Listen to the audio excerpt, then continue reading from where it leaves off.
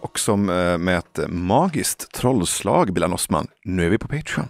Ah, nej, fan vad snabbt det gick. Ja, så här ser Patreon ut, så här känns Hey. Patreon. Är det inte sjukt? Vart är Patreon? Här. Är det, är det i luften? Ja. Liksom? Ah, shit. Patreon är inte, det är inte en fysisk plats, Nej. det är hjärtat. Det är Navid Modis själ. Det var där. ja. Så vi har ju fått massvis med frågor från våra lyssnare och tittare till dig också.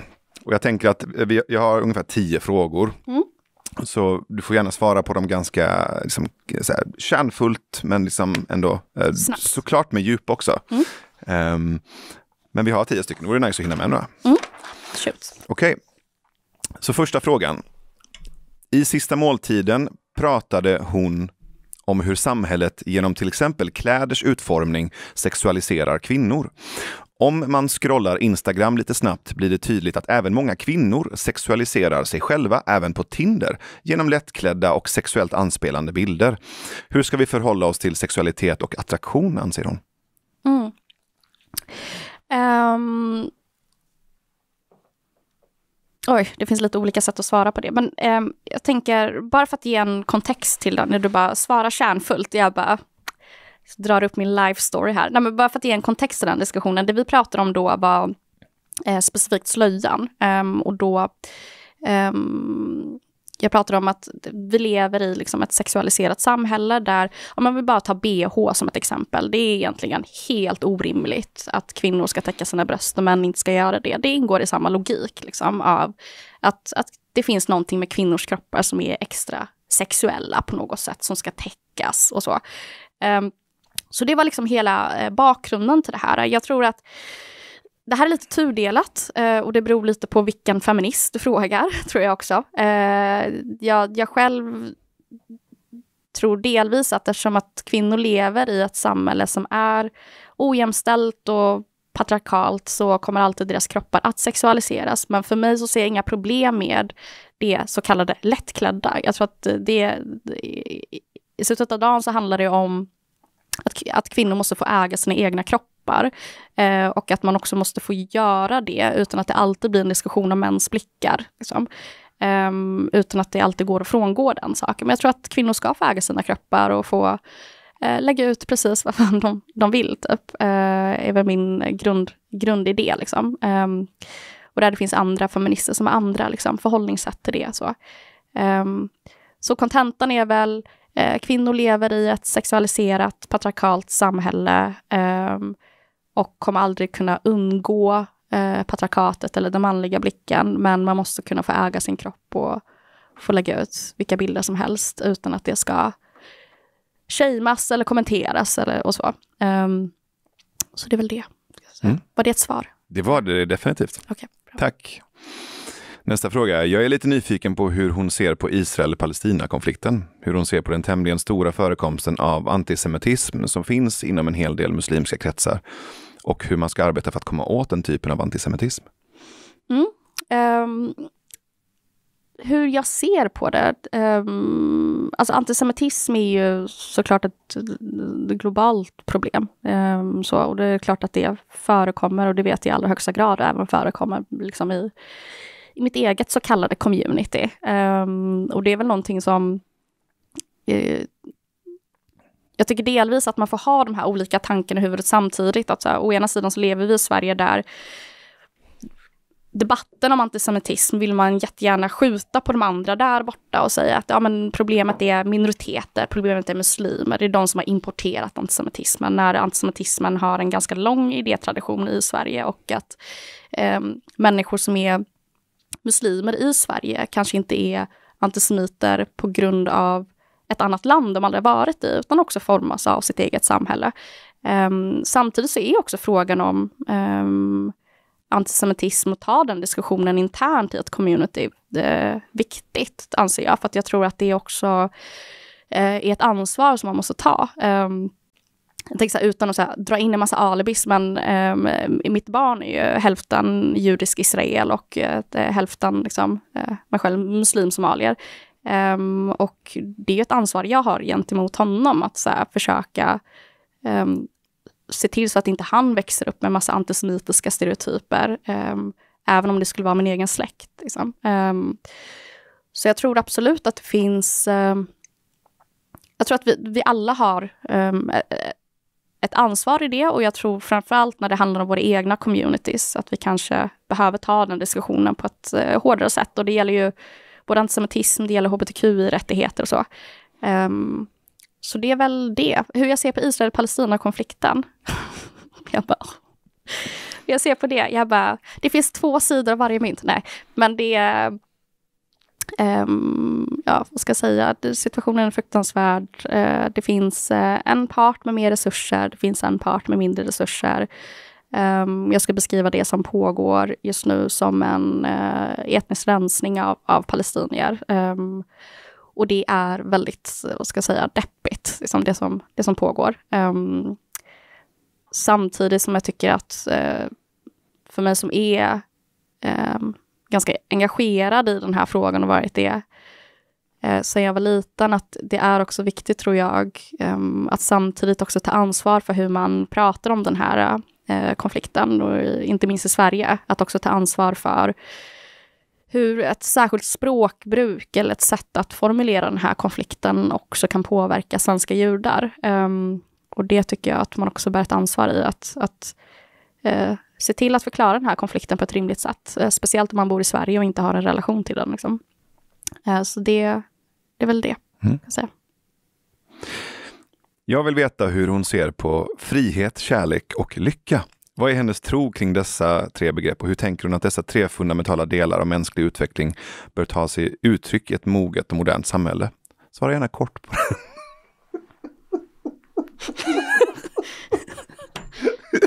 What the fuck? Jag kunde åtminstone fått lunch innan det här. Vad är det här för frågor? Alltså, men det, det kan ju inte säga. Det här är liksom, det här är ju så jävla flumpodd. Liksom, så det är klart att det här frågorna kommer Du fick in. precis en uh. fråga om Israel-Palestina-konflikten. Ja, Fett oflummigt. Uh. Och så nu får du svara på en liten större fråga. Svara gärna kort. Okay, mitt korta svar på det är, det är två jättebra värden Tre. för människor. Tre. Frihet, kärlek och lycka. Frihet, kärlek och lycka, mer till folket. Så ska jag säga. Det, det tycker jag är bra grejer. Alltså. Uh, det är bra grejer. Eller är det, kan man ha en annan åsikt i det? jag, jag gillar inte frihet. Jag tycker, jag tycker kärlek suger och folk ska helst vara så olyckliga som möjligt. Det är också en position. Ja, det är ju den bilden folk har av mig. Så varför inte? Jag kan ju lika gärna bara kliva all in i den rollen. Exakt. Oh, wow. Fuck frihet. Det är, det är min nya slogan i livet. Vi kan trycka en kopp till det där det står fuck frihet. Kärlek suger, lycka är för mesar. Okej, okay, nästa fråga. lycka är för bitches. Um, fråga om hon verkligen är religiös eller om det är ett kulturellt politiskt ställningstagande.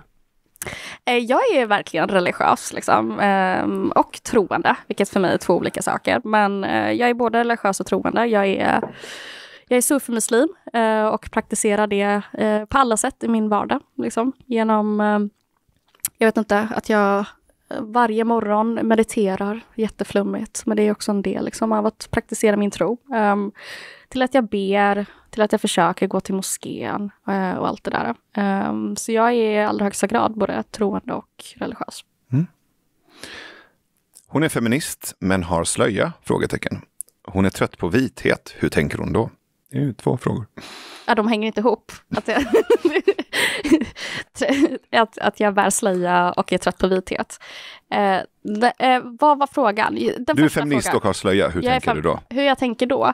Eh, ja, jag tänker väl som många andra feminister som bär bh. Liksom. Eh, det, vi har olika sätt att eh, liksom förhålla oss till våra kroppar och eh, vi eh, täcker det ibland och vi täcker det inte. Det har ingenting med liksom, min feministiska utgångspunkt att göra. Eh, så. Um, jag tror att det är också en del av det samhälle vi lever i, att det alltid ska vara sånt jävla tjat om vad kvinnor har på sig. Så.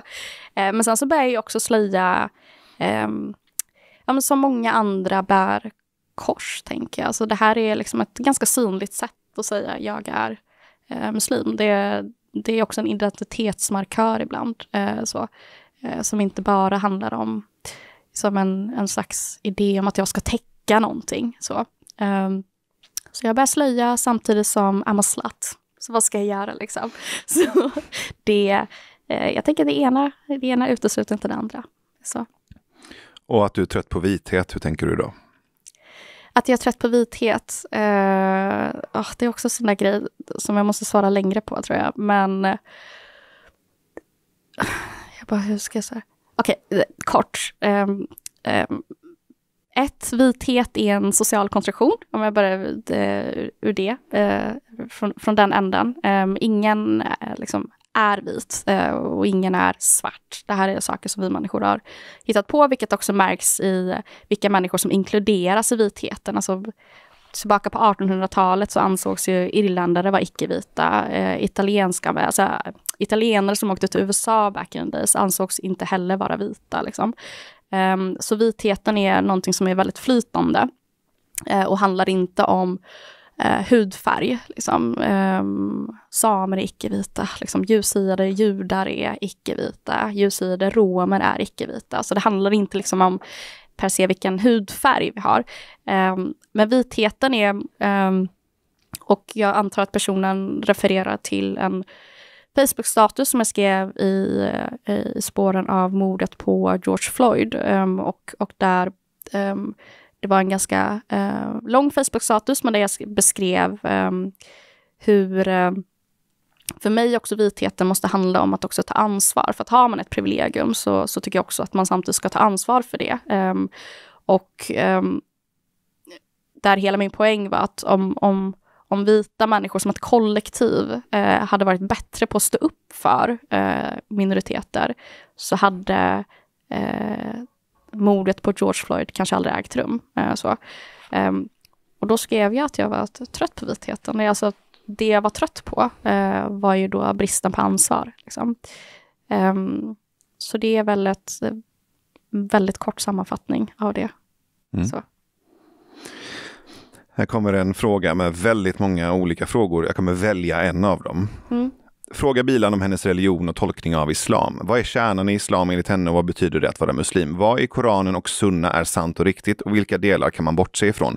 Till exempel, har män och kvinnor samma rättigheter eller ej?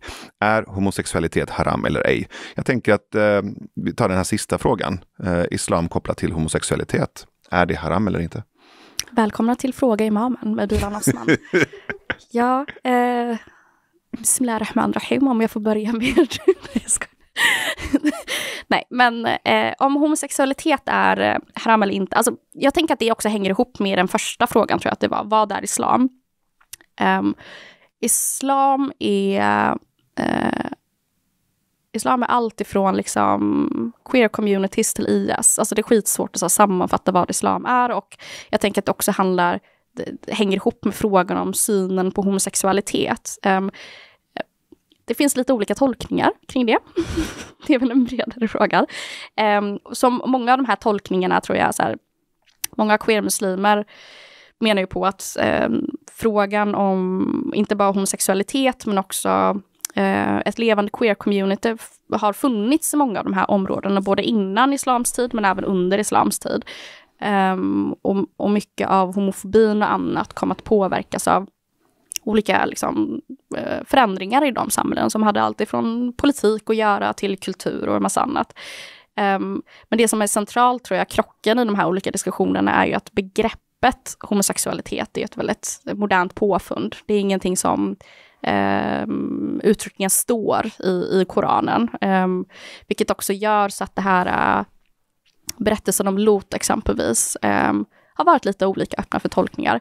Men den dominerande tolkningen um, är ju att det här handlar om homosexualitet. Um, och det tycker jag är, um, å ena sidan, um, ska jag säga så här, å ena sidan så handlar det om att um, lever man i en homofobisk värld så kommer man också göra de tolkningarna. Och uh, Um, islam eller skrifterna står ju inte utanför den värld som vi också lever i. Så det är klart att uh, um, även religionen kommer att påverkas av de här uh, attityderna. Uh, så. Och jag tror att i grund, i grund och botten så tror jag att det handlar om att muslimer är ju såklart som alla andra människor och att, att muslimer snarare så att så här, har man vissa värderingar så väljer man att tolka Koranen utifrån från det. Liksom. Um, och uh, nu, nu, nu spannar jag vidare på någonting. Jag kände jag var på väg mot en till monolog. Jag tror kontentan är, eh, den dominerande tolkningen är att homosexualitet är en synd. Um, bland, och när jag säger dominerande tolkningen så pratar jag om hur olika rättsskolor har tolkat de här eh, skrifterna. Um, muslimer däremot uh, tror jag är, uh, har massa olika inställningar till det här, beroende på vart man lever. Uh, så. Um, jag tror att det bara handlar om vanligt sunt förnuft. Typ. Var inte en homofob. och så behöver man inte hitta sätt att rättfärdiga det. Liksom. Så. Så vi avslutar helt enkelt med, med, med den meningen. Var inte en jävla homofob. Punkt. Radikalt. Så, liksom. ja, verkligen. Var inte en homofob. Peace. Och, och också så här, eh, frihet, kärlek och lycka är för töntar. Mm, exakt, det hänger ihop för mig. Det hänger ihop, ja, ja såklart. Verkligen. Tack, eh, tack Bilan. Det, här var Patreon, det var din Patreon-debut. Ja, hur känns det? Det känns eh, stort. Jag har alltid hört om den här Patreon, så det känns så trevligt att äntligen få träffa henne. Verkligen. Så nu kan du bära med dig den, eh, den upplevelsen, den mm, erfarenheten, så verkligen. vet du hur det känns nästa mm. gång du blir inbjuden. Verkligen. verkligen. Så tack för att du svarade på våra lyssnare och tittares frågor på Patreon. Kul, det här var roligt. Mm. Vi gör det här en gång i veckan från och med nu. Absolut. Bara massa random frågor. Bilan svarar. Ja men exakt, fråga imamen. fråga. fråga queer imamen, det blir ja, jättebra avsnitt. Exakt, verkligen. Ja. Tack snälla Bilan. Tack själv.